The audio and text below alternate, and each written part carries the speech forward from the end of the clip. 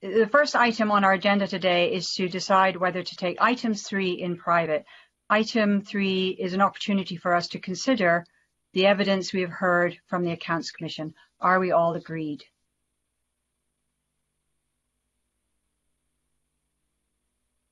Okay, we're all agreed. Uh, I'm just getting a notification that there might be some technical hitch with some of our witnesses. Let me just check that. Okay, so we're just going to keep going, and hopefully we're all um, we're all here and available. Okay, so the next item on our agenda is to take evidence from the Accounts Commission on its recently published overview of local government in Scotland and its financial overview of local government in Scotland. And our witnesses today are Bill Moyes, who's the chair of the Accounts Commission, Anthony Clark, who's the Director of Performance Audit and Best Value and Interim Controller of Audit at Audit Scotland, Carol Calder, who's the interim, interim Audit Director at Audit Scotland, Blythe Deans, who is Interim Senior Manager at Audit Scotland, and Lucy Jones, who is the Senior Auditor also at Audit Scotland. And I welcome our witnesses to our meeting. Um, it would be helpful if members could direct their questions to a specific witness where possible, although I will be happy to bring others in who wish to contribute. And actually, I would suggest that members direct initial questions to Bill, uh, and then he can uh, direct, because he'll have a greater understanding of who might have the answers we need. If other witnesses, so I now open the session to questions from members, and I'd like to begin. So I'd like to start by asking how councils use the reports that the accounts commissions create as these reports are broad in focus and contain a significant amount of analysis across local authorities, I'm keen to hear more about how these reports influence local authority financial service and work, workforce planning. And I'm also interested in how the Accounts Commission track the impact of their reports and improve their usefulness to local authorities. If I could address that to Bill. Good morning, Bill. Good morning, convener, and good morning, ladies and gentlemen. Um, as you know, I was appointed at the beginning of January, so um, I had quite a lengthy induction period, and during that period, I had a lot of meetings with uh, executives and members of local authorities, and they all, to a person, uh, remarked at how seriously they took the reports from the Accounts Commission uh, and how thoroughly they read them and um, did their best to follow them. Uh, and that certainly has been my experience so far. But my, given my relatively short length of time in post, I'm going to ask Anthony, who has much more experience of this, if he could perhaps respond in detail to your question. Anthony. Thank you very much, um, Chair, and thank you, Convener, for the question. Um, th there are a range of activities that we, we undertake to promote our reports within the local community. Um, we run joint sessions with the Improvement Service, with elected members. We have regular contact with Solace and chief executives in local government, and we also engage with the professional groups as well to make sure that our messages that we have in these reports are well communicated and well understood.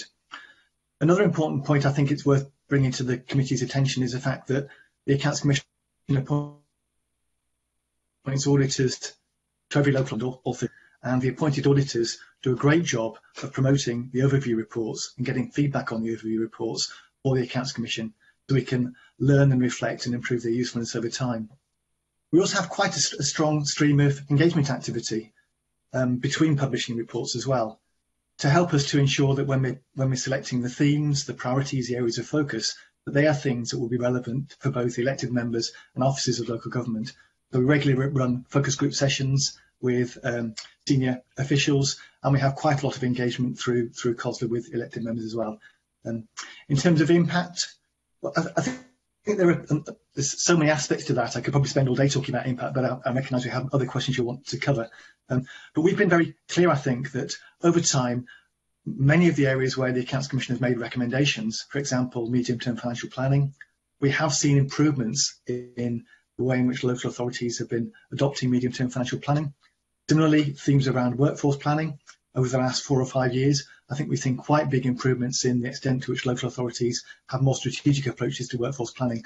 I think we're pretty confident that the reports are well used. And there's a very specific point to do with the financial overview that is worth mentioning as well. We've had quite a lot of discussion with local government about the timing of the financial overview. Um, and we're very keen, I think, to make sure that the financial overview that the Commission prepares can be useful for local authorities, both elected members, finance directors and other senior officials in budget setting processes as well. So we've been working hard to pull the publication of the financial overview report forward so it can be useful for local authorities for financial planning purposes. So I hope that answers your question, Convener, um, but if there's any follow-up, I'm very happy to have a go at that as well. Thanks. Thank you, Anthony. That, that's really helpful. And I, am sure, as you have said, that uh, more will come out with the other questions that we um, have um, uh, that we're going to ask you. Um, I, I, wanted to um, ask a bit about Accounts Commission and the relationship with the new co cohort of councillors. So I'll come back to Bill uh, initially. And, and, just, I'm curious to know what engagement the Accounts Commission has had so far with the new cohort. For example, do um, is there is there training provided or seminars to new councillors, and particularly to those councillors with specific finance remits? Yes, I mean, we, we've written to new councillors introducing ourselves, first of all, and explaining what we do uh, and what they can expect from us. And I think that's an important starting point. Um, we are planning uh, with other partners training programs um, during the early part of the, the councillor's appointment. And then in roughly a year's time, I think I'm right in saying, we're going to rerun parts of those programs again once the councillors have had a bit more experience. Um, but I wonder if I could bring Carol in to flesh out the detail. Yeah, absolutely. Um, later this year, we will be having a specific event with um, the Improvement Service, hosted by the Improvement Service for new elected members on this specific report, which is the local government overview. Um, the Improvement Service do a lot of induction programs as well for new councillors, and the councils themselves will have their own induction programs. Um, but we generally, when we do a piece of work, we will try and get engaged with the improvement service and do some live events with new elected members. Um, but you'll also um, see that with this report, with the local government overview, there's also a checklist for elected members, which is specifically designed um, for those new members to help them ask the questions they need to be asking as well. So we do as much as we can to um, do practical engagement with elected members as well as creating reports and checklists that help new members as well as they get into the role.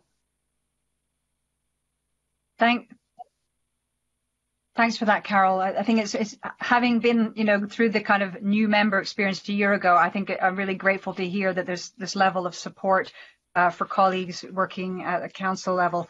Um, we're now going to move on to questions around skills shortages and workforce planning, and I'm going to bring in Annie Wells with those questions.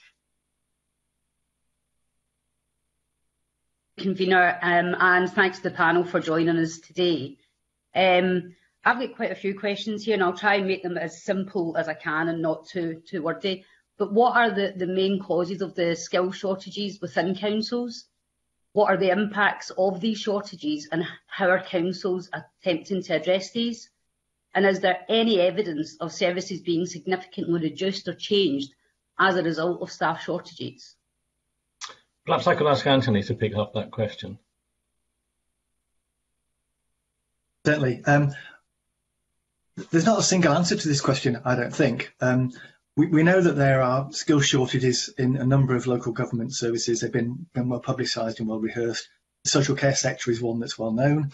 I think the reasons for the skill shortages and the pressure on the social care workforce are partly to do with rates of pay and remuneration, partly to do with it being seen as an attractive profession, and there's been a lot of activity taking place at national and local level, try and, if you like, generate interest in people joining the social care workforce with local authorities, working with colleges, um, trying to promote the attractiveness of that, and also, as you probably know, the national scheme that was run collaboratively between national and local government to try and try and draw people into the social care workforce. In other areas, um, there appear to be specific skills gaps around digital, I think that's partly to do with the competitive pay rates that local authorities struggle to meet compared to the private sector. But there's been an awful lot of work done through the local government digital office generate the kind of capacity and skills that are needed um, to help local authorities deliver on the digital agenda that's really important in terms of providing high quality modern modern public services. Um, we also we also know that there are some gaps around um, planning and environmental services. Um, if I'm honest, I'm not, not, not, entirely sure if I know what the reasons are for those those skill gaps and shortages. What we do know is that local local authorities are working very hard with the professional bodies to try and find ways of plugging those skills gaps. You're asking whether there's any, any, any evidence of the gaps causing problems in terms of service delivery. Um, I think the evidence we're seeing so far suggests that local authorities are coping with this relatively well. But there are inevitably impacts on um, colleagues that are working, where you have a shortage of staff that puts additional pressure on, on individuals. And we've also seen, I think, some good work done by local authorities to try and reskill people to draw people into those roles where there are gaps as well. But I, I think it would be un undeniable to say that there aren't some quite significant challenges for local government around workforce planning. More positively, I think when we look at the best value assurance reports we write on local authorities, I think we have seen improvements in workforce planning at individual local authority level. But one of the things that we're, we're recognising at the moment is as local authorities move from the current phase of the pandemic to what might be called the new normal, there's still a lot of uncertainty about what the shape of local government will look like. Therefore, there's a real need, and I think we make a recommendation in the overview report, there's a real need for local authorities to revisit their workforce plans at the moment as they think through what their future model of, of working and the shape of local authorities are going to be. This is a particular area of uncertainty given the way in which hybrid working is beginning to be developed and there still appears to be a degree of uncertainty, not just in local government, I think across the whole of the public sector and to how hybrid working is going to operate. So I hope that's answered your question, but, but please come back if you want to follow up on any of those points. Thanks, Anthony. That, that's answered quite a few of my questions, so thank you very much for that. But I do have another another question to ask. With the evidence of higher staff absence levels and some degree of burnout, how are councils attempting to improve staff wellbeing and promote fair work? Might I come in on this one? Yes, Anthony, if, if, if you have the knowledge on your go. I think we have better evidence on how local authorities are addressing the wellbeing issue than perhaps a fair work issue. So if I might start with that, if that's okay. Um, we, we, saw during the, the height of the pandemic, local authorities being quite thoughtful around how they supported their staff. Lots of staff engagement activity, lots of staff surveys around well health and stress and pressure and so on and so forth. That, that, that, that good approach to engaging with, with staff, often involving trade unions as well, appears to be being carried forward into the future planning for the new models of service delivery moving forward. And we've seen an awful lot of investment by local authorities in uh, welfare schemes, support schemes for, for staff as well. So that feels like quite a positive story, I think, from the government side around how they've been working with their staff through what's been a difficult period of the pandemic and trying to build that welfare activity into future future ways of working as well. Um, on the Fair Work question, um, I, am not sure we, we, we've gathered much evidence on that as part of our overview reporting, so I don't feel particularly well placed to answer that question, but it is something that's on our agenda in terms of our future work, in terms of looking at how local government and other public bodies are addressing fair work. So hopefully when we come back to you in, in, in future years, we might have more to say on that. Thank, thanks very much for that. The only other, the one question I want to just come back to is about the the pandemic has made the workforce planning both more difficult and more necessary. Is there any other witnesses that want to come back on that, if there's anyone? Carol, do you want to contribute or Blythe? I, I can come in on that. Um, you, you'll see from, from our report and some from particularly in page um, 19 about senior posts that there has been what's been called the great resignation and that has a, had a big impact. And I think it's people taking stock during the pandemic of what they want from their work-life balance. But it has um, reduced knowledge capital and it has increased the, the competition for people in senior posts with that those level of skills.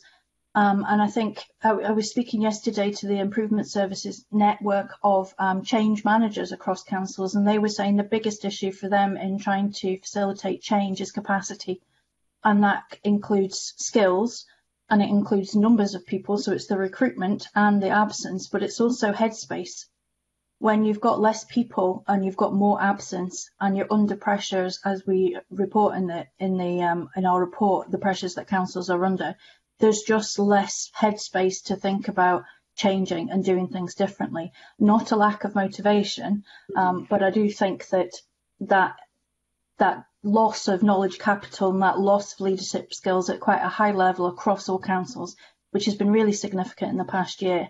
I think that's that's had a, um, a, a really big impact. So succession planning as well as workforce planning, I think, is also really important. And um, and, and coming back to the, the well-being question, I think that there's been a lot of work across councils uh, with the initiatives that Anthony's mentioned, but also mental health training for managers so that they can recognise that in staff as well. So there's a lot going on, but I wouldn't want to underestimate the amount of pressure from all the different factors, recruitment factors, absence factors, um, and people who are moving on and out of the sector. Thank you very much for that, Carol, thanks, convener. That's me done. Thank you. Thank you, Annie. And we're now going to move on to uh, questions from Willie Coffey uh, around the theme of inequalities and community engagement. Thanks very much, convener, and good morning, Bill, and to the rest of the, the panel. Um, I was wanting to ask uh, Uh, just if you could give us a little flavour of how the, the pandemic affected things like early intervention and preventative policies. There's a there's a note in your report about this, but I wonder if you could give us a little flavour of how we're assessing the impact of, of this and, and what it's causing. Certainly. Anthony, do you want to come in first? Thank you. Thank, thanks, thanks, Willie. It's a, it's a really important question, isn't it? I mean, the, the commitment that made and made towards that shift towards prevention on the back of the Christie Commission report and probably even predating the Christie Commission report has been a really important part of um, the way in which local government has been operating for some time. But I, I think the truth of the matter, though, is that, that we have been critical about the extent to which we've seen that shift towards prevention even before the pandemic, to be honest, Mr. Coffey. Um, it, we've seen examples of, if you like, um, small scale projects and interventions that have had a good preventative aspect to them. But I think we've reported on a number of occasions about the challenges that local government and their partners have, have found in converting those really good small scale projects into change at scale across the whole system. And there's absolutely no doubt, I think, that, that the pressure that local government and their partners were under during the, the height of the pandemic in dealing with the immediate presenting pressure of the, the, the kind of health and well-being and the economic impacts of COVID-19 on their communities has meant that there's been less time, space, and and and and and, and focus on that shift towards prevention. And it's reflected in the overview report where, where we highlight the fact that local authorities' transformation plans were often paused during the pandemic. Many of those transformation plans weren't just about more efficient services, they're about changing the focus and emphasis of services. And there was a, a, great deal of, if you like, pause of those transformation plans during the pandemic. That, that inevitably into which local authorities and the partners have been able to make that shift towards prevention. But there's a more positive story to tell here, I think, because we've reported this year and last year in the overview about the way in which the local authorities and their partners really pulled together in a very collaborative and agile way to deal with the community needs that, that were identified during the height of the pandemic. That collaborative working, that agile response, if it can be continued, I think it would give us some hope that that shift towards prevention through different models of, of service delivery might be able to be delivered. But I guess there is that open question at the moment as to whether or not um, public bodies will drift back into old ways of working or whether they'll be able to sustain that kind of agile approach, that innovation that we've seen so far. We hope they'll be able to su sustain that, but as Carol and as Bill have said, many pressures on local government at the moment, which may, may, may make it more difficult for people to make that shift. Mm -hmm.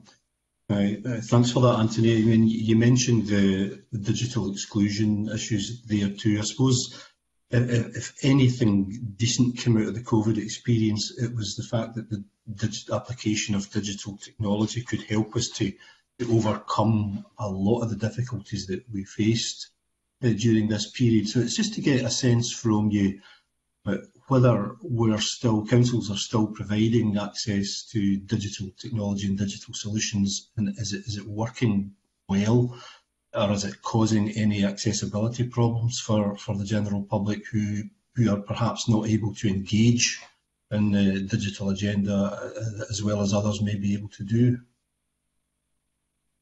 Well, if I could kick off, I would certainly expect um, there to be some problems for people in their, say, 80s um, you know, who will struggle with digital technology. I mean, thinking about my own family's experience, trying to buy a parking ticket for a car and that kind of thing nowadays requires skills in digital technology that three years ago were, were absolutely not necessary. So I think not just council, but government as well needs to be alert to the fact that uh, although a large proportion of the population can actually handle digital services quite well, there are gaps and, and those gaps have to be identified and allowances made and special arrangements made. But again, let me bring the team in because they have more detail than I do. Anthony, is this you area?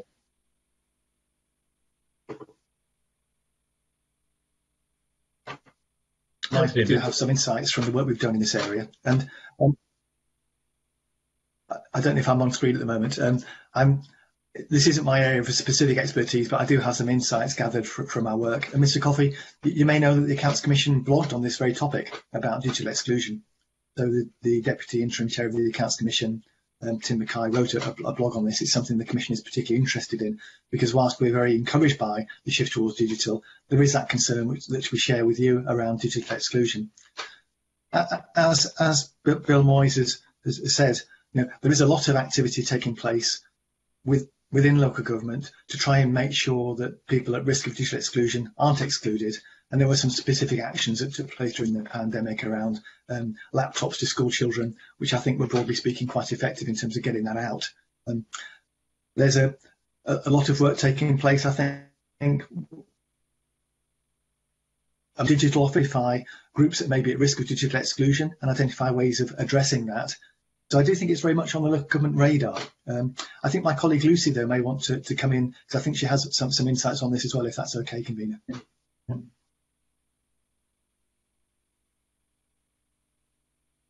Thanks, Anthony. Um, yes, there's the Connecting Scotland initiative, which was a national initiative um, that provided devices, data and um, training to some of the most vulnerable during the pandemic. Um, and in the last six months or so, there was a review of this, um, an independent review, um, which looked at kind of sustainability. Well, one of the concerns that came out of it was around the sustainability of the programme going forward. And I know there's national work underway to look at how this can be continued. Um, and just to add as well that digital exclusion is something that we're looking at very closely um, and we're just beginning to scope a performance audit on it. So um, perhaps in future we can come back with more detail on this as well. Mm -hmm. Thanks very much for that, Lucy. Just uh, another question from me, if I, I may, convener. Um, the experience that many communities had during COVID and working directly with local councils to, to help deliver urgent and, and, and services in pretty desperate circumstances at times. So there, there was a, a, fantastic level of engagement with the community during the COVID period. Now, as, as we look forward to recovery and recovering local council services, is that level of engagement with the community still there? Or is there any sense that we've, we've kind of lost that direct contact that we had with communities and how, how best can we take that forward to, to make sure that communities themselves are directly involved in the recovery from COVID? Well, again, if I could kick off, um, it's something we're stressing to local authorities very strongly that recovery doesn't mean reverting to the pattern of services and the pattern of working that existed three, four years ago.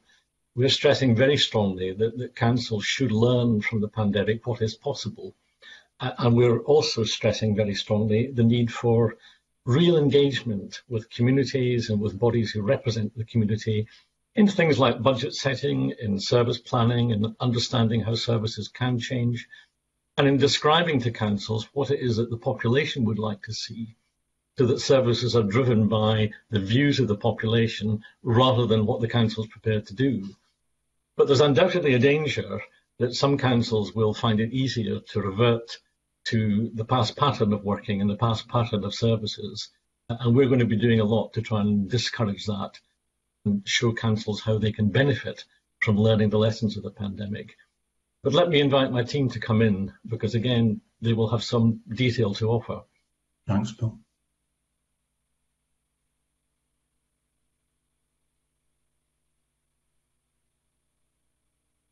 Um, I'm very happy to come in on this one if that's okay, convener and, and Mr. Moyes. Um, we, we, we, as as uh, Mr. Moyes has said, the Commission's been very um, keen to promote the importance of sustaining that community involvement and community engagement. And and for me, it's this is going to be critical to the future success of local government. You know, the best local authorities see communities as assets, not passive service recipients. The best local authorities work very collaboratively and constructively with, with local communities to understand and identify their needs and, and use them as a, a resource to help deliver better outcomes for their communities as well. We're, we're, we are very much hoping that, that this will be a really important part of the COVID-19 recovery agenda. And it certainly seems to the review work we've done looking at COVID-19 recovery plans. It's true to say, though, I think that the recovery planning process is still at a relatively early stage for many local authorities. We're not mm. out of the, the pandemic yet, so it's something we'll need to keep a watching brief on quite quite hard. But there's a strong sense coming through, I think, that the, the future success for local government really will depend on unlocking community action and local authorities seeing themselves as facilitators and partners with local communities. And we're hoping that that will, that will be an agenda moving forward. You'll know from, from previous discussions on this topic, um, committee, that, that there are risks here. You know, the risk is that the communities that already have great resources will be the ones that draw more resources to them, and those communities that have less advantage and less resources may be left behind. So there's a real challenge there, I think, for local authorities to identify how they can target their resources to make sure that there's fairness and equity in terms of how they approach this work with communities moving forward. And we know that this stuff isn't easy. You know, working with communities takes effort, takes real investment, and it's a skill set I think that that local government has been developing. But maybe it's an area that there's still still scope for local government to develop their skills further and certainly show a bit more leadership in some local authority areas. Mm-hmm. That's that's really helpful, Anthony. I think uh, all the members, I'm sure, in the committee would be looking forward to see just how well that will work in, in, the, in the years ahead. Thank you very much for your answers to my questions this morning. Back to you, Convener. Thank you. Thanks, Willie. And yeah, thanks for those responses. It is heartening to hear this kind of move towards, uh, actually, in the committee, we've had discussions around the kind of facilitation enabling of local authorities for communities. So great to hear that that, that looks to be something that's developing. Uh, I'm now going to move on to questions around COVID support plans, savings and usable reserves. And Mark Griffin is going to come in with those. Sorry, Convener, I think that was someone else's section. Um, I was. Oh, sorry. Yep. 16, 17. Marie McNair. Thanks, Mark. Marie McNair. Thank you, Convener. Uh, good morning, panel. Uh, good morning, Bill.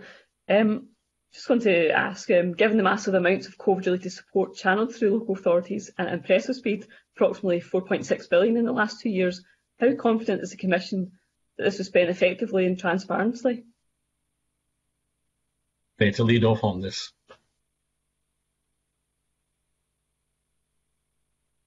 Uh, Bill, you you were clipped slightly there. Can you just say who you wanted to have lead off on it? Sorry, I thought Anthony might kick off. Brilliant. Come on in, Anthony. Thank you very much. I, I will kick into if that's okay, who's probably slightly more familiar with the detail of the analysis of the accounts that we did for the financial overview that then we referred to into the, the, the kind of wider performance overview as well.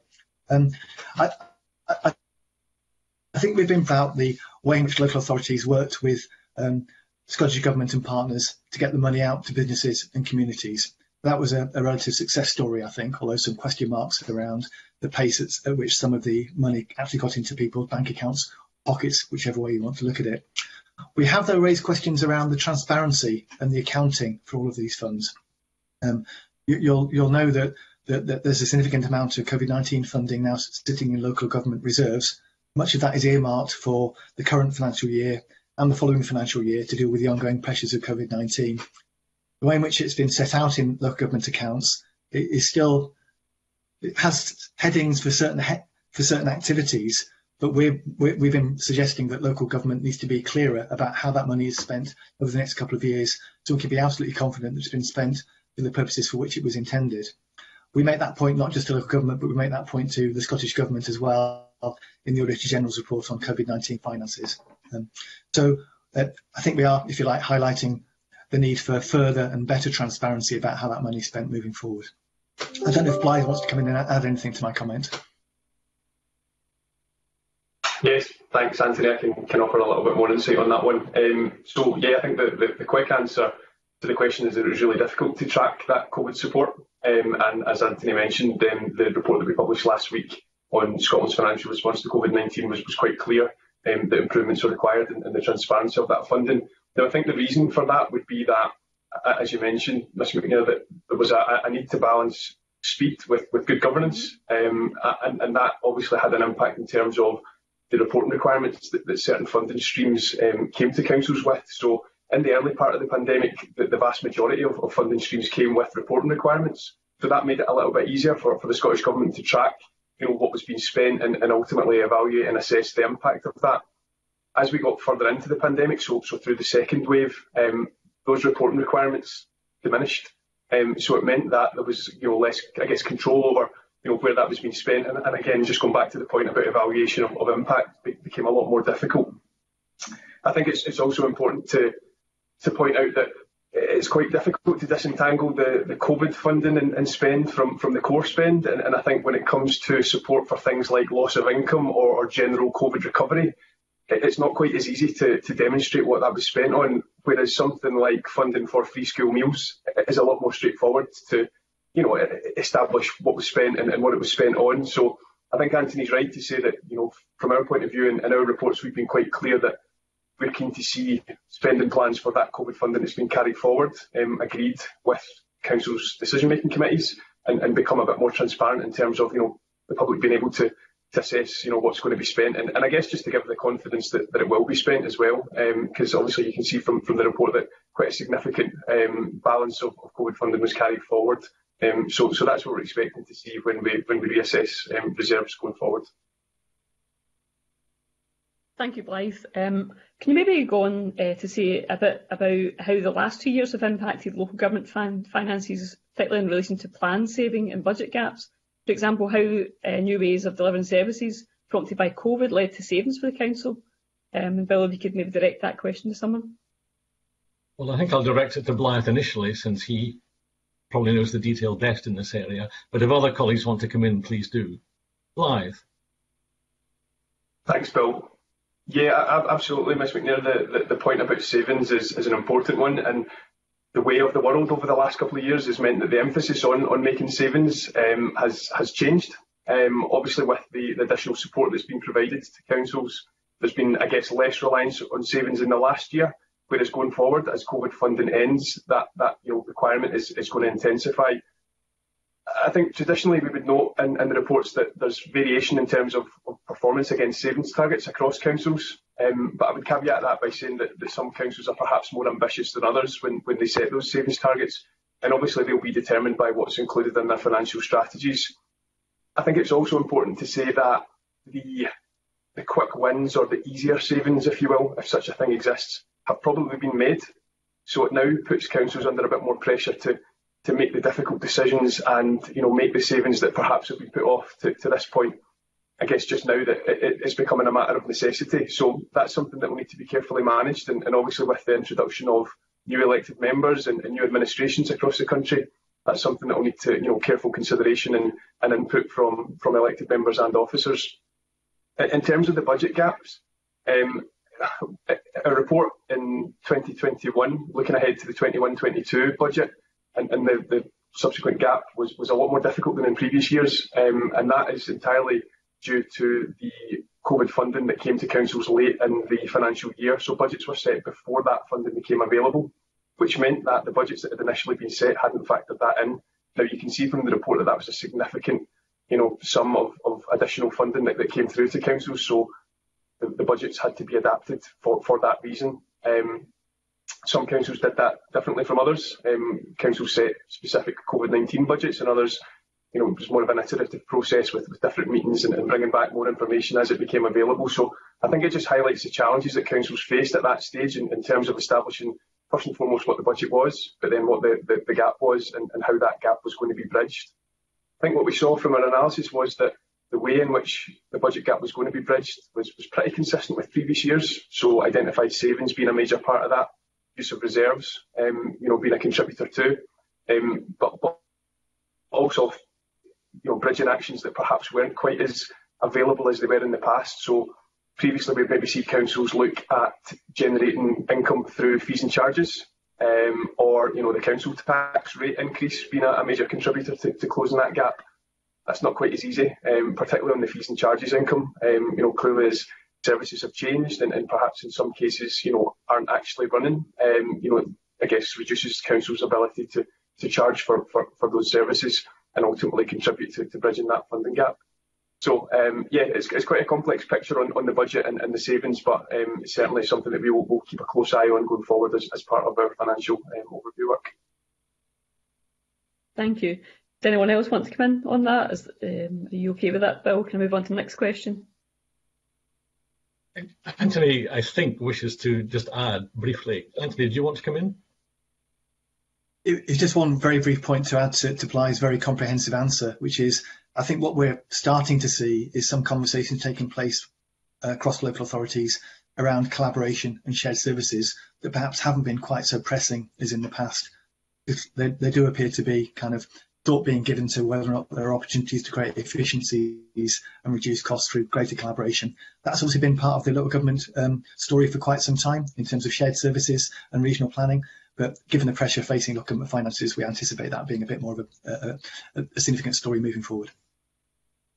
Yes, it is happening in councils that um, obviously uh, in my area, obviously East Dunbartonshire and West Dunbartonshire, there's a lot more shared services happening. Um, last question um, is the issue of reserves is covered in the financial overview. Given the report was published in March, is there any more recent assessment of how much of local authorities' 3.8 billion reserves have been used up since March 2021? Blythe, can you answer that?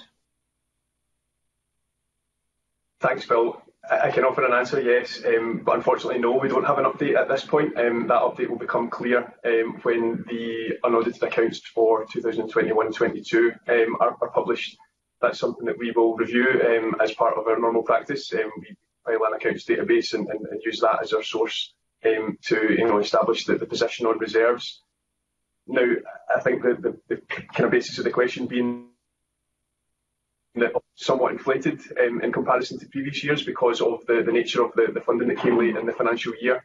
Now, we've been quite clear in the report that, we want to see clearer spending plans for, that money that's been carried forward. I know I mentioned that in my previous answer, but I think it's, it's worth reiterating here that within council's accounts, there's significant variation in, terms of the disclosure of those reserve balances, both in terms of the commitment and the earmarking of them, but also in terms of the purpose, intent and timing I think that would be really important to see, particularly when it comes to the COVID reserves, you know, just around that assurance that the money is going to be spent. Um, you know, I guess just to mitigate the risk almost that that money sits there for, for longer than it needs to. Um, so as I say, there is variation at the moment. Um, and I think it would certainly improve the, the transparency of, of the accounts if we could see a bit more in terms of the, the plans for, for that spending. Thank you for that. Um, Karina, I have no further questions. Thanks. Thanks, Marie. Um, we're now going to move over to questions on longer term financial sustainability and impact of budget changes on individual services. And I'm going to bring in Paul McLennan on those questions. Thanks, Convener, and um, good morning, uh, panel. Uh, I wanted to touch on, obviously, just as the Convener said, about longer term financial uh, sustainability and the impact of budget changes. The, the first thing um, at the moment, obviously, is, is the impact of rising inflation. Um, I think last week we heard that it could go up to 11%. Is in your view, what's the impact of rising inflation? Probably, certainly for the next year. I think it's projected to be up there for around about 18 months at least. I don't know. Um, just the, thoughts on what that will impact that will have on um, on on um, local authorities. Um, and probably coming to the to um, I think I don't know who the best person would be, Chair, at the moment, but um, to come to. Um, Bill, probably through yourself again, new director, who the best person would be in that regard. Well, I'll ask Anthony to kick off, and then we yeah. might give you another one. Anthony. Thank you very much, Mr. McLennan. Yeah, um, the, the, we know from our discussions with Director of Finance, directors of finance that they're very concerned about the impact of inflation and cost pressures more generally on local government services and, and, and, and finances. And, and the obvious one I think that's, that people are concerned about at the moment is the pressure on, you know, and, and the potential uh, challenges that might arise from there. Um, we're going through a tricky period, I think, in terms of um, pay negotiations across a whole range of sectors, public and private. But that's an area that I think is of concern to directors of finance, obviously HR directors, chief executives, and I guess council leaders as well. Um, obviously, we don't know what the um, pay settlement for local government will be, but that's that's one area that, that could be challenging for, for, for local government. We've also highlighted, I think, in this overview and in pre previous overviews, the inflationary pressures on capital spending as well, and how that's created significant costs for buildings, renovations, new build, and, and, and so on and so forth. That that that challenge isn't going to go away any, anytime soon, and that, that that could cause issues in terms of the pace at which local government is able to um, refurbish and develop its its estate, which is a really important aspect of providing high quality services for people, you know, residential care homes, schools, and and and and, and, and the like. Um, so those, I think, are the two main areas I would probably draw out, Mr. McLennan, in terms of, of issues. Um, directors of finance are pretty good at managing these things, but you know, it won't be easy for them moving forward. Yeah, and I suppose the other thing, Anthony, just on that, I mean, one major, obviously, level of expenditure, which I'm touching on, is obviously energy costs.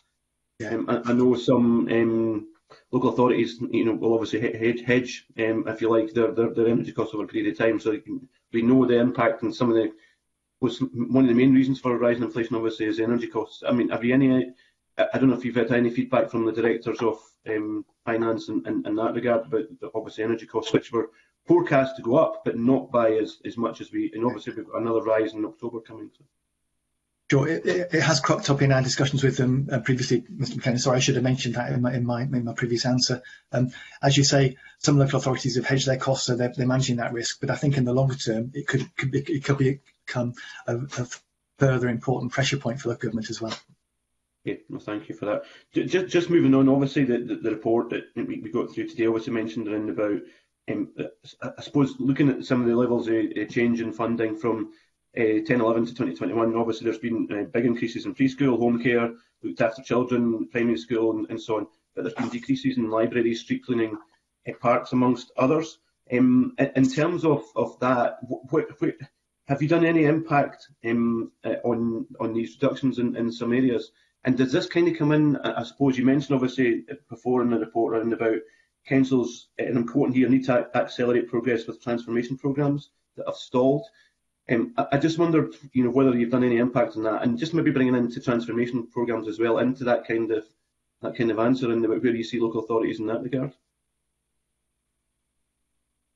Yeah, I'm happy to have a, have a run at that one if that's okay. Yeah, again, through yourself, Bill. I don't know if that again if it be Anthony. No, no, that's fine. Yeah. Anthony, on you go. I, I think this. I, I think, Mr. McLennan, the, the, best source of evidence for this probably is the local government benchmarking framework report yeah. that the Improvement Service prepares each year, and that gives you a good analysis of the relative performance of individual services, the cost of those services and levels of satisfaction. So that, that's a very good source of evidence uh, in terms of how the uh, reductions in funding for services like library, street cleansing have or haven't impacted on, on customer satisfaction and the quality of services as well. It, it's something that we're, we're thinking of looking at in the future as part of our overview reporting, because uh, in, in the past, before the COVID-19 pandemic, the Commission's overview report was very much an overview report covering all services.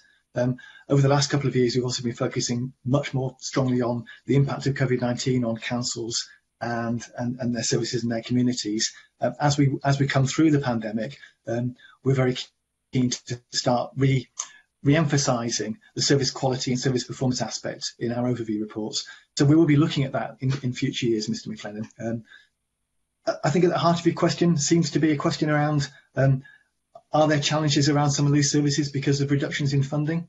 I think that seems to be what you're what you're getting. Yeah, at. and, I suppose that I mean the, the, key thing I think for me, you obviously mentioned benchmarking. Obviously, it, it, it's looking at the outcome based, almost the performance indicators. Because I think if you look at the if, if it's looking at a service and if it's been increased or reduced, either way, I think what the key thing I think for the committee to look at is in terms of what are the outcomes. Now, part of that is obviously as you said is is, is I suppose is, is, is customer satisfaction, if you like. But it's, I think that's maybe something for the committee to look at is in terms of the outcomes. We need to measure what the specific outcomes are and the impact on the outcomes rather than any budget increase or budget decrease. I think is a key point, I think, for the committee to, to look at.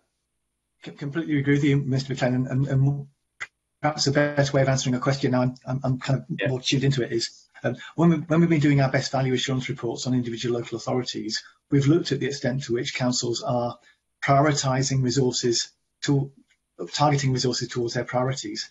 And uh, you know, we, have seen a, we've seen some local authorities get get quite good at that, being very clear about what their priorities for their area being, you know, not just service performance but wider outcomes, and shifting and targeting resources in those areas. I guess a recent example would be um, the, the, Commission recently considered a report on Angus, um, and Angus Council took a view that, that they wanted to reduce their investment in roads because they didn't see it as being such a high priority as some of the other aspects of, of services, you know, addressing inequalities and so on and so forth.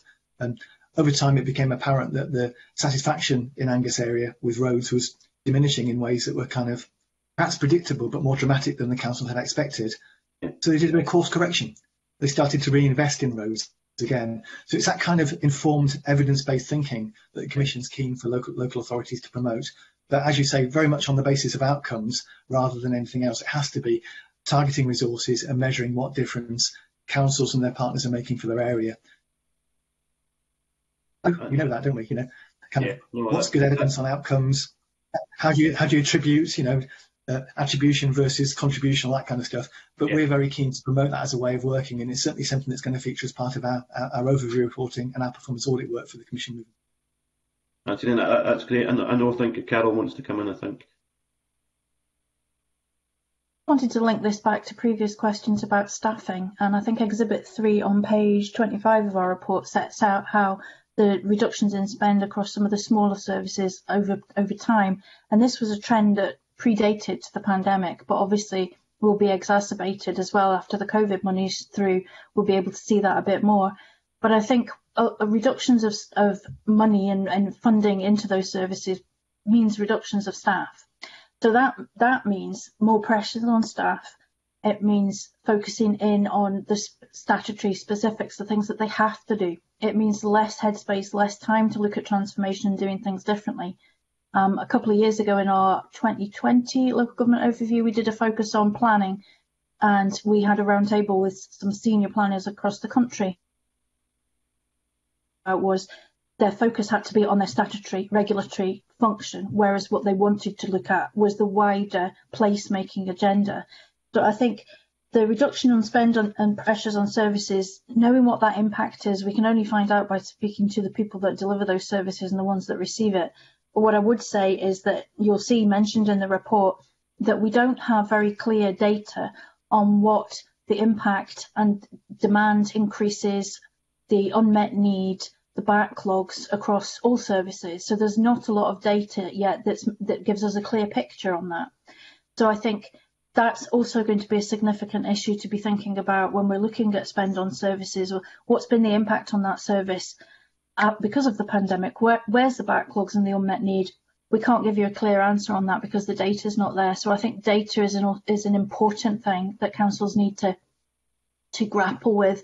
And again, data skills, people with data knowledge, it's not easy.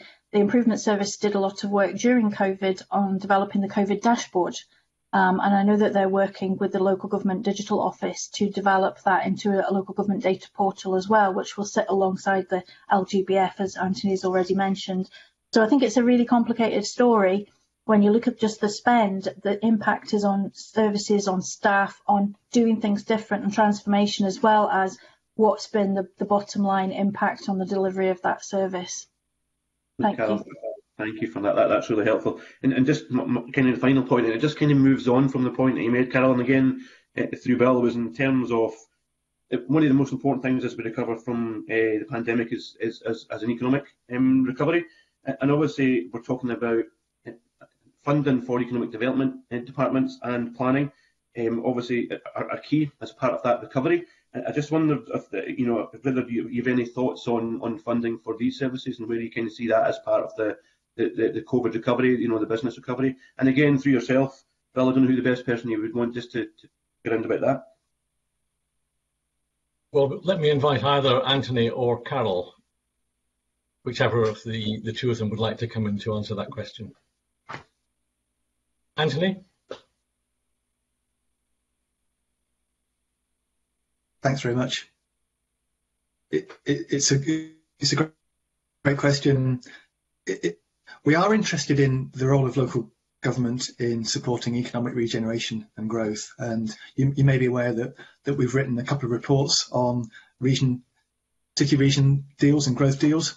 And that's an area that we're, we're still looking at quite hard in terms of how are local authorities collaborating together with their partners to help generate those kind of big, big growth aspects of economic growth. So that, that, that feels to me to be quite an important bit of the story alongside the specific investment in, in economic development teams as well. Yeah. Um, I think it's difficult to look at this in isolation because local government works in collaboration with central government in this area. So we have a, a range of national and local agencies working together. Um, we, we've, we've, we've had some really useful discussion uh, leaders that work in, in this field um, that and we're, I think we, we are thinking about doing audit work in this area in, the, in, in the future.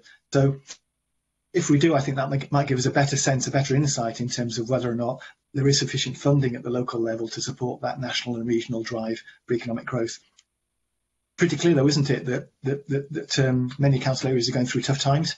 You know, the COVID-19 pandemic has hit city centres very badly, but not just city centres. You know, more rural areas as well. You know, we don't really know how long the how long that impact might last, whether or not we're going to have a, if you like, a almost dip into recession in Scotland, do we? So there's lots of question marks out there, I think, about about how, how this is going, going to pan out moving forward.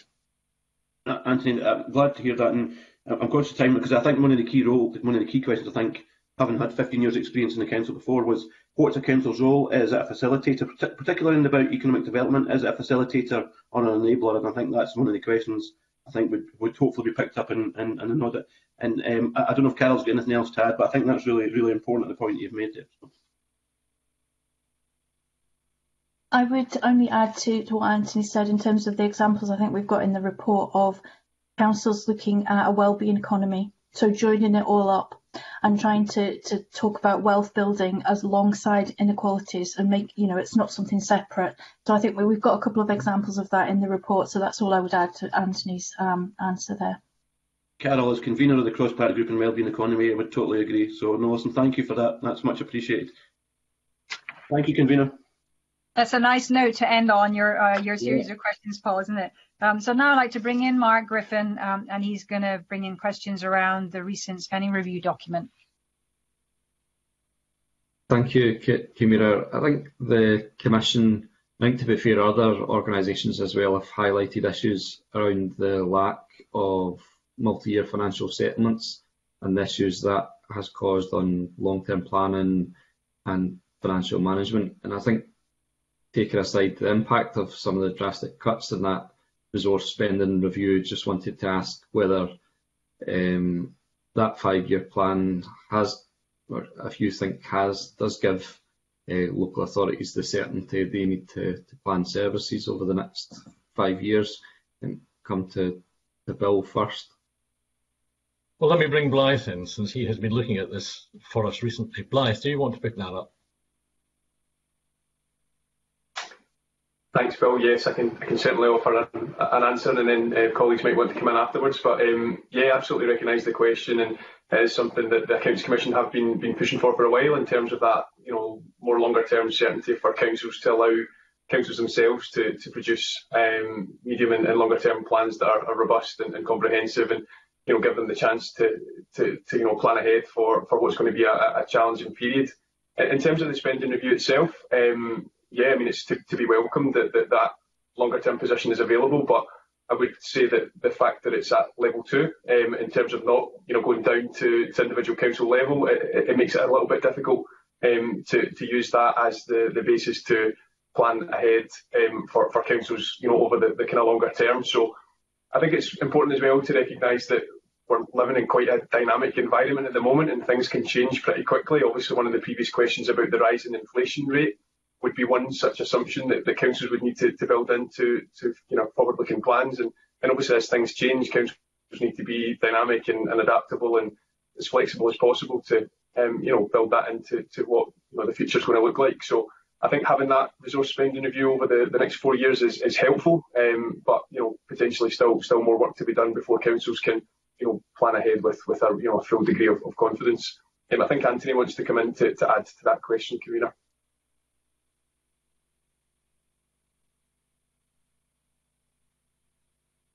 Thank you.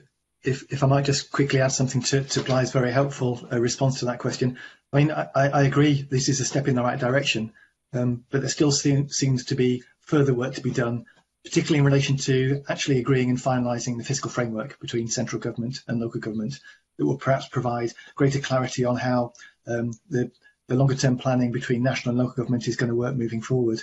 Because whilst it's good to have that kind of longer term envelope of overall funding for the local government sector, you know, th there are still concerns, I think, amongst the local government sector about the extent to which they have full fiscal autonomy and also the extent to which local government priority setting is constrained by uh, national government priorities in areas such as early learning and childcare. And I guess perhaps the, the, development of the National Care Service will be another issue that, that will require careful thought moving forward. So yes, a step in the right direction, but it feels like there's still some way to go before to finalise a full and comprehensive fiscal framework that includes a partnership agreement between local government and, and, and central government. Thanks for that. That's very helpful. That gives us a basis to, to interrogate that that spending review and, and flag that um, lack of detail with, with government so that actually gives local councils more certainty of the individual figures that they would get. So that, that's really helpful. And um, taking aside um, the principle of the, the spending review and giving local authorities that longer term or medium term um, stability, I could just ask questions about um, the content of this, the spending review. Now, the, the five-year review is flat cash, which means, especially with inflation as it is, um, really significant real-term reductions to local authority budgets, and I think that's on on top of um, cuts going back probably over the last 10 years. What is the Accounts Commission's view on local authorities' ability to continue to provide the services that they need um, based on the projections of real-term redu reduction of upwards of £700 million over the next five years? Blythe, do you want to come in? I'll, I'll maybe pass that one to Anthony if, if that's okay, Bill, um, just as, a, as an initial response to that question. Thank you. Okay, Anthony, you come in then. Happy to take that take that one. I mean, the Commission's been been quite clear, I think, in its overview reports for a number of years now that local government needs to change. Um, it, it needs to change to address the demographic pressures, the financial pressures, and also to meet the rising expectations that local people have around council services. The um, resource spending review, there was going to need to be change in terms of how local local authorities operate. We've, we've, we've seen some great examples of local authorities transforming services, working collaboratively with communities and partners to deliver efficiencies and new ways of working. That, that, that pace of change is going to have to accelerate. And when I responded to an, an, an earlier question, I talked about the need for perhaps greater collaboration across local authority areas. There's probably a need for local government to be a bit more agnostic about what models of service delivery are appropriate moving forward. And there's certainly scope for, for local government to, to tap into the capacity and expertise that communities have to support themselves. But this stuff's going to be really, really difficult. Um, and I think nobody could sit here and, and honestly answer your question. What will this mean in terms of the level and range of services that councils are able to provide? Um, I think there's an open question as to whether or not the full range of services that councils currently provide will be available at the level and quality that they are now. If, if, there, if there have to be reductions in services, then it's fundamentally important that councils engage with their communities around those changes and work with them. You know, we've seen examples of councils getting themselves in hot water when they've tried to reconfigure services or reduce services. But on the converse, we've seen some councils manage that change very well when they engage effectively with the communities. So for me, it means that the whole issue of engagement and consultation and working with communities is more important now than it ever was. So I'm not sure I'm able to give you a, a clear and concrete answer to your question, but uh, uh, but hopefully I've given you some some insights in terms of the Commission's thinking in this really complicated area. Okay, that's helpful. Thank you. Thanks, Kavina. Thanks, Mark. And I see, I think, Carol, did you want to come in on this? And then I see Willie Coffey, you want to come in on the theme in, general. So Carol, if you want to come in and then Willie afterwards. Yeah, just briefly, I think you'll see in the report that we set out some key principles for leadership, and I think leadership is going to be really important in this. And, and the short answer to the question um, is it's going to be tough. and difficult decisions are going to have to be made.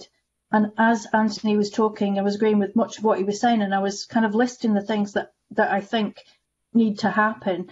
And that includes, as Anthony said, collaborative leadership with partners and with communities. It means strategic decision making, and it mean, needs data to underline those those decisions, to support those decisions. It needs um, services to look different. Um, it also needs engagement with communities, as Anthony mentioned, but also management of expectations as well, um, and shared services and, and more digital services, I think.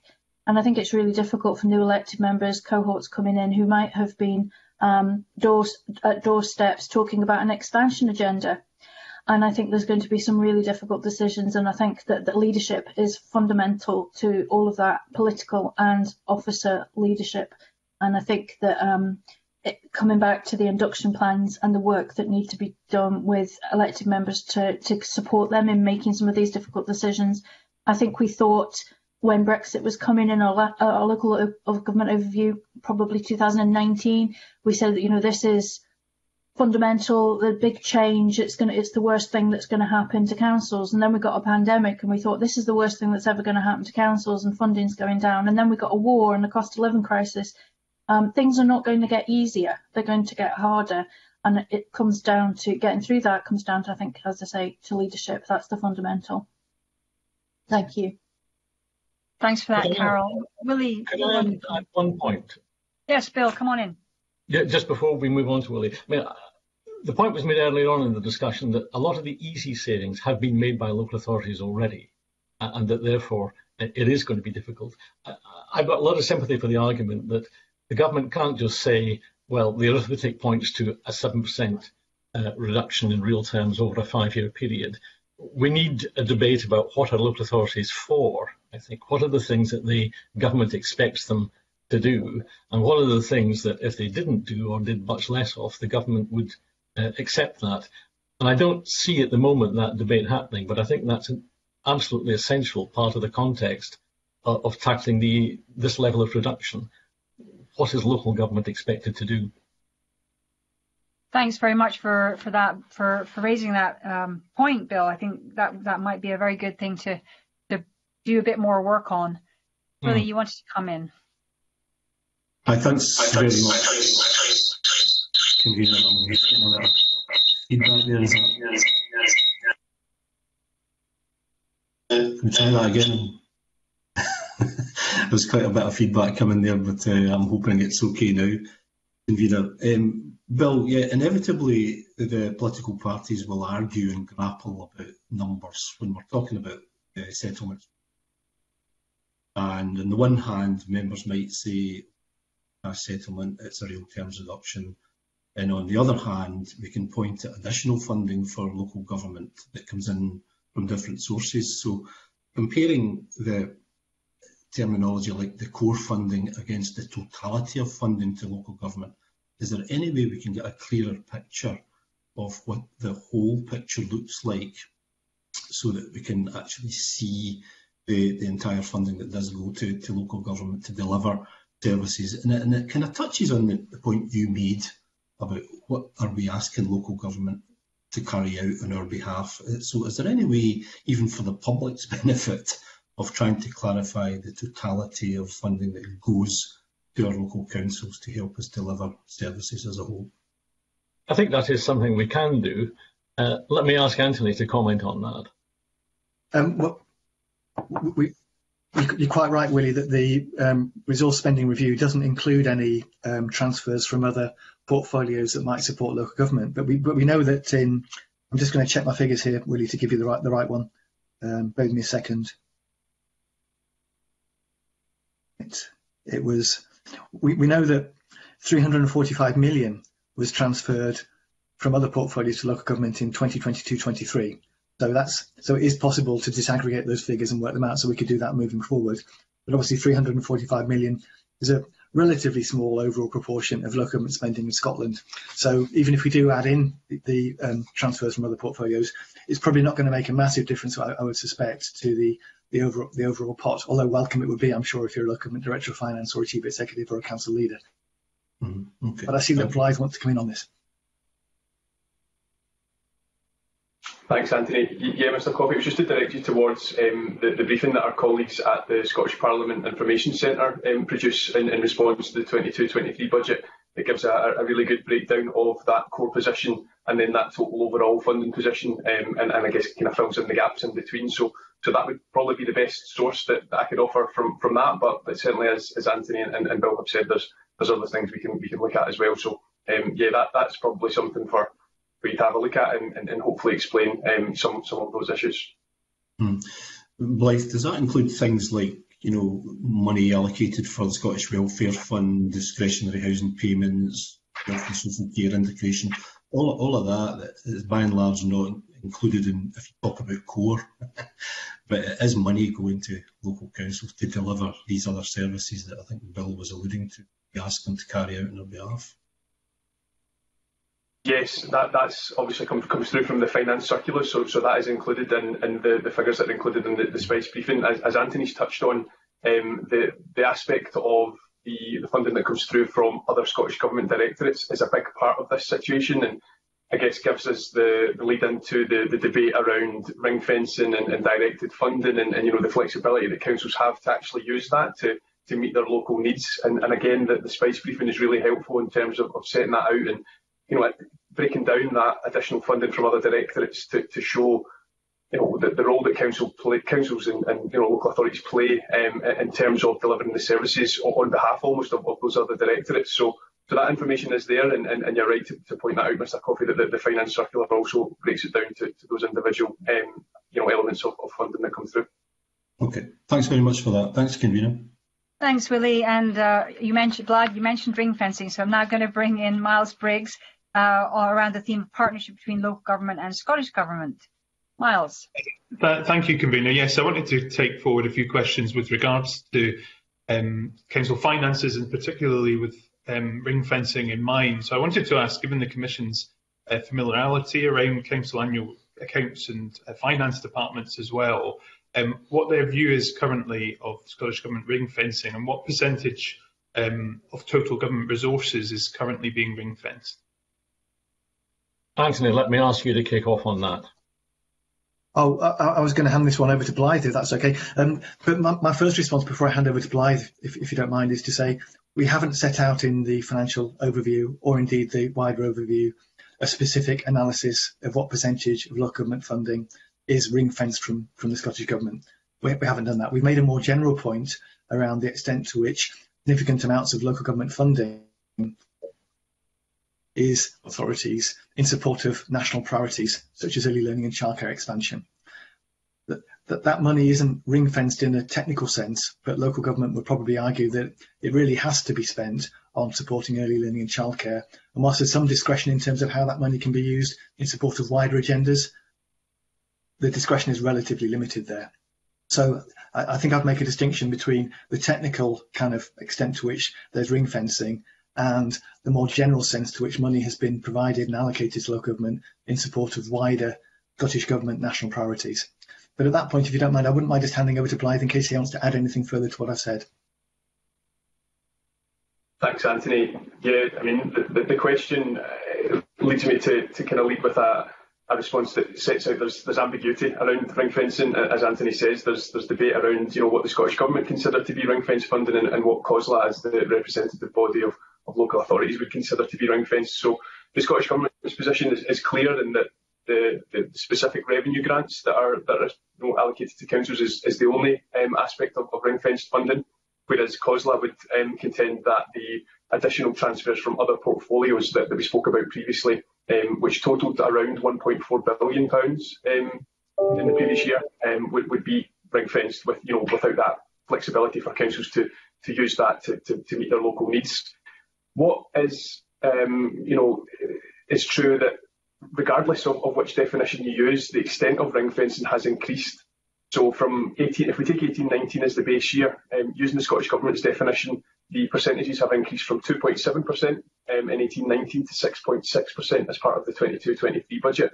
Um, that, just to get my figures, um, that has increased um, even more dramatically um, if we use the, the COSLA definition. So factoring in the transfers from other directorates. So back in 2018-19 that was 2.7%. Oh, sorry, that was 4%, um, and it's now increased to 17.9%. So just to give you a, a of idea of the, the, figures involved in that, that's increased from 386 million um, in 18-19 up to 2.1 billion. Um, so the argument continues between the Scottish Government and COSLA around, you know, which is the, the correct definition. And as Anthony says, we, we've not decided to, to you know, put our own um, opinion on that. We've kind of taken a neutral position and, and can explain the, the situation and, and, you know try to give the, the clarity in, in that way. Um, so so yeah, that's that's kind of where we're at in, in, at the moment in terms of that um, you know debate around ring fencing. No, that, that's very helpful. Thanks very much. And I, I, think that leads on to the discussions which we're seeing take place at the minute around a new financial uh, fiscal framework uh, between local government and Scottish Government. Um, so I just wondered what the Accounts Commission's view was on how that could work and how that local flexibility uh, could be built into that, which we as a committee keep hearing uh, councils want to see more of. Um, so I just wondered your views on, on that uh, fiscal framework. Blythe, do you want to continue your explanation or do you want to pass that to Anthony? Um, probably best going to Anthony first on that one, Bill, and, and I can come in with, with any supplementary information. Thank you. Fine. Okay, Anthony, do you want to take it up? Thanks very much. Um, in response to an earlier question, we, we, we, spoke about the resource spending review being a helpful kind of step in the right direction of giving certainty and confidence for the government about its future long-term finances. But there's still more to do to clarify how the financial flows will operate between Scottish Government and local government and what constraints, if any, might apply around how local government can, can use the money it receives from, from the Scottish Government in support of local priorities. Our understanding is that the, the, the, the, there's still quite a lot of work to do to identify what a proper fiscal framework government in terms of the mechanics of how it would operate, the level of autonomy it would give to local authorities, and any kind of control mechanisms that might apply as well. So it's actually very difficult, I think, for us to sit here and answer your question, to be honest, um, in terms of what might that look like, apart from in very broad terms. I think our assumption is that, that a fiscal framework will have to involve some kind of agreements on how national policy will be set in terms of the role of local government in influencing and shaping national policy, because local government has been critical in the past of, of what they would see as perhaps scope for a greater involvement of local government in setting policy in the first place. We're assuming that it will have to involve some discussions around flexibility of using funding pots to support wider policy goals so that their local authorities are able to use money in more innovative ways to support their wider policy ambitions. Um, and what do I mean by that? Um, so I guess early learning and childcare might be a good example. Uh, a local authority might feel that that um, investing money towards it on, that's been given to them to support early learning and childcare in non-traditional ways, so not directly on early learning and childcare provision, but on family support or other other approaches that will help address the broader policy outcomes might be a better way they would feel of using that money. So having some agreement about flexibilities around how local policy and national policy can be linked probably have to be an important part of that policy framework. It will re require, I think, a very mature discussion around the role of local government. Um, the convener, I think, or touched on the fact that what's local government for. Um, this has to be framed, I think, around what value can local government bring in, in meeting local at the same time supporting the delivery of key national priorities. My sense is that that often this works pretty well. You know, if you read the press, you would think that, that it's not working well.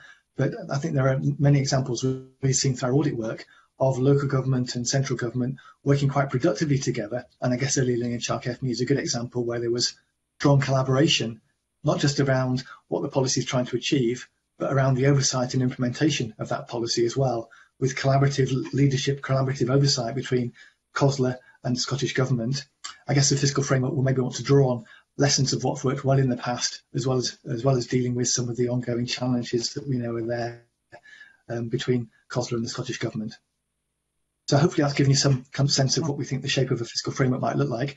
But I guess the question is probably better put to COSLA and the Scottish Government because they'll be designing it rather than the Accounts Commission. That, that's helpful, and I, I, think one of the, the key messages which was coming out of Scottish Government spending review uh, document was talking about strengthening uh, those partnerships. And as we've heard all, already from yourselves, you know, the success of local government is unlocking community action. So um, I think the, the key insight I suppose I would like to ask for yourselves is what do you think then needs to be strengthened within um, that partnership? Is it just because of um, budget lines or is this um, shared decision making in some of these areas? To go back to my first question um, around local um, authorities thinking that everything they do is now ring fenced and you know giving them more flexibility to have those local priorities decided um, seems to be what uh, we hear regularly as MSPs from councils that that they feel that's been taken away from them. So I just wanted to, in terms of strengthening that partnership, if there's any views uh, the Commission had as well. Well. Well, if I might kick off and then my colleagues can come in. And I think local authorities can make a very good argument, but until they can demonstrate with really good data that their proposals are based on deep conversations with the local population and the bodies that represent their local populations, it, it's very easy for the government to say, well, we've had what you have to say, but we're not going to follow it. So I think that one of the things that has to be really strengthened in the whole system is much better dialogue between local authorities and the populations they serve. And, uh, and that, I think, then would give the local authority community a much better ability to say to central government, well, we think this because it's reflecting the views of our population. And it's a brave government that tells um, uh, whole populations that whatever they may think, they're going to be ignored. But let me pass it across to my colleagues who've got longer experience of this. Anthony, do you want to kick off? Yeah, I, I think to answer your, question, um, I, I think it's absolutely clear that for this to be effective, there has to be that shared dialogue and that shared agreement around what the national can mean at local level. And, and that, that does mean different ways of constructing national policy. And it does mean probably different ways of involving local government in those decision making processes as well, recognizing that local authorities are uniquely placed, I think, to engage with communities, work with their partners to deliver local outcomes. And I don't think anybody would argue that, you know, that, that it's perfectly reasonable for, for national government to set national priorities but it's also reasonable, I think, to accept that how they should be delivered and the extent to which they should be uh, how they should be delivered at local level may vary from place to place.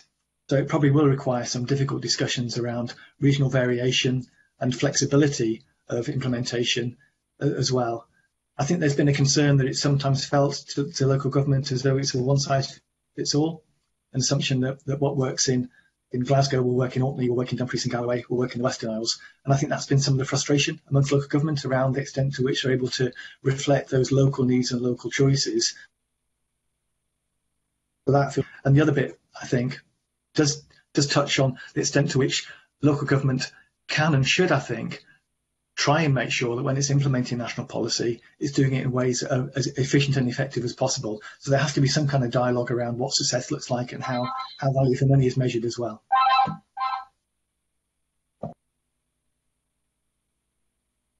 Thank, thanks Thank for that response. Um, I'm sorry, Maz, are you, are you, are you complete? No, no, I was just going to hand back to you, yes. Okay, Thanks, great. Sorry, sorry for jumping in there. I actually had this, I think this I mean, it's been a really rich discussion. Willie, I see you do want to come in, and Carol also. Um, it's been a very rich discussion. I've I've got a couple of questions um, around this theme, around the kind of local uh, government and uh, Scottish government partnership, and uh, and it's related to the Islands Act because I'm a Highlands and Islands MSP. And so within the Islands Act, there's a mechanism for the three all island local authorities to request additional powers However, such a request hasn't ever been made, despite the Act being enforced for several years. And I, I just wonder what your, you know, if you've done any looking at that, and if you think this mechanism within the uh, Islands Act is is fit for purpose. And I'm not sure who might want to pick that up. No, neither am I. I have to admit. Anthony, do you want to kick off? Yeah, I mean, as, as you know, we, we audit um, all the local authorities. So we, we audit Western Isles, Orkney, Shetland, um, and so on and so forth. So we, we have a pretty good understanding of, of their needs, and obviously there are islands in Argyll and Bute uh, as, as well. Um, I'm not sure I draw any conclusions from the fact that the that bit of the Act hasn't been been invoked yet. Is that the islands, the leaders, the community leaders, the elected members of the island, island councils have been working very productively together to make the case for the distinctive of and in policy making and, and, and, delivery as well. So I guess I'm I'm I'm I'm not drawing any strong conclusions from from the fact that there's a power there that hasn't yet hasn't yet been used. Thanks for that response. And then I've got another quick question about ring fencing uh, and and drip feed funding, and that that's um, I'm, I'm keen to hear that your views on lump sum funding allocation versus drip feed funding. And this is coming up again, I think, uh, because I'm aware of smaller local authorities who particularly feel the burden of officers' time of continuous funding allocation throughout the year from the Scottish Government and, and true in areas which involve significant statutory duties and ring fencing, such as education. In your experience, what impact do you think a larger start of year lump sum funding could have on local authorities' ability to plan effectively? Anthony. I think it's um, almost self-evident that that um, if if local authorities are given larger sums at the start of the year rather than drip feeding throughout the year, it reduces the administrative burden on local authorities and, and also potentially gives them greater scope to plan with confidence. I think the bigger question is how long are those lump sums for and over what period of time? Because I think the problem we keep hearing, or we hear fairly regularly from local authorities, is the short-term nature of funding makes it very difficult for them to plan both to recruit staff, to develop and implement services, and to and to retain those services as well. And that doesn't just apply to local government, it applies to the third sector as well. I think you will have heard, I'm sure, repeatedly from the third sector that when local government itself is providing funding to the third sector, the short-term nature of that creates similar problems to those which local government itself experiences as well. So I think there's an issue there around the, the kind of medium to longer term nature of the funding that's made available to local authorities, as well as a lump fund rather than drip fund. Thank you for, for that response. So, uh, Carol, I, I noticed you wanted to come in a few minutes ago. So if you want to pick up, uh, it's probably on a theme we were talking about earlier. You want to come in and then Willie, I'll bring you in with your, your final question. Yeah, sorry, the conversation has moved on a bit, but it was in relation to Mr Briggs' question about um, what needs to change in terms of the relationship with Scottish Government and local government. And I agree with everything that Anthony said, but what I, what I would add is, as Anthony describes local government as being uniquely placed, and I, and I think they really are. And I and I think what maybe needs to change is not to view local government simply as implementers, but that they should be at the table in the design and decision making around policy objectives um, rather than coming in at the end in, in terms of implementing happens. But I think that there is more of a role for that kind of engagement at that level, that for local government and Scottish government to be round the table at that level while that, whilst they're developing policy. Thank you. Thanks very much for that. I think that's quite an important point. Um, Willie, you wanted to come in with a question. Thanks very much, Ariane. Um, Bill, it was to ask about the Levelling Up Fund. Um, as, as, you know, that's the replacement fund for European Union funds. And in my other committee, uh, the audit committee, who will scrutinise and who will audit this? Because at the moment, uh, either of the two governments fear that there's a role for Audit Scotland or the Committee of the Scottish Parliament in looking at that so do you anticipate that the Accounts Commission, because of your close, closer relationship with local government, will be the body that will scrutinise and provide assurance about the, the spend across all the councils for that fund? I would expect so, but it's not something I've encountered yet, Willie. So let me pass to Anthony to ask him um, if he'd like to comment. Thank, thanks, Bill, and, and, thanks for the question, Willie. Um, I think the honest answer is it's not clear at the moment um, how the audit arrangements will operate for the levelling up funds. And that's a conversation we're having with our colleagues at the National Audit Office, the Wales Audit Office and the Northern Ireland Audit Office as well. So it's, it's, it's, it's an uncertainty at the moment, to be honest. Um, I would probably make a distinction between the technical auditing of the funds as they flow through from the UK government to Scottish local government or indeed to any other part of the Scottish public sector which may not rest with the Accounts Commission, it may rest with the National Audit Office. Even if that is the case, I think it's likely that the Accounts Commission would, would take an interest in how local authorities are using that funding to deliver better outcomes. Having a, an audit opinion on the accountability and, and sign off of where that money's gone, the, the Commission may well take a want to take that, that funding is making a difference as part of its wider interest in local governments, local councils delivering their best value duty and improving outcomes. Mm -hmm. Okay, thank you. It's still unclear. thank you. It is. A work in progress. Um, thanks, Willie, for that question. And so I think we've come to the end of our questions, but Bill, I wanted to maybe hand back to you in, if you've got any closing comments you want to make sure that we, we maybe we haven't covered something you just really want to uh, get across to us or something you want to highlight. Um, I'd love to give you that time. Well, thank you very much, uh, There's not a lot I want to say because I think we have covered a lot of ground today and it's been, certainly for me, a very interesting session. But I think the thing that comes out of it most of all is the need for local authorities not just to complain about the pressures they're under, although they're entitled to complain at times, I would admit, but they really do need to put a lot of effort into both planning and consulting the populations they serve. And the stronger uh, the feedback they can get from the populations they serve, the better placed they are to make an argument to government about how they should be funded and how they should be overseen. Uh, and I think that's the, the one point I would just like to leave. The, the future role of local government is a key question uh, and can only be answered by talking to the populations that the local authorities serve. Well, thank you very much for underscoring that. That certainly did come, come through at, at points uh, in the in the session. Um, so it's been really rich, and I'm glad that we have this relationship with the Accounts Commission and, and that we're going to be seeing you on a, at least an annual basis because I, I find certainly the over review reports are very helpful for us to understand what's happening in local authority and also certainly I've been finding um, local authority reports for my region also very useful. So I just want to say thanks to all of you who've come today um, uh, and, and, really kind of helped us understand um, more of what's going on at a deeper level. And as that's the last uh, of the public items on our agenda for today, I now close the public meeting.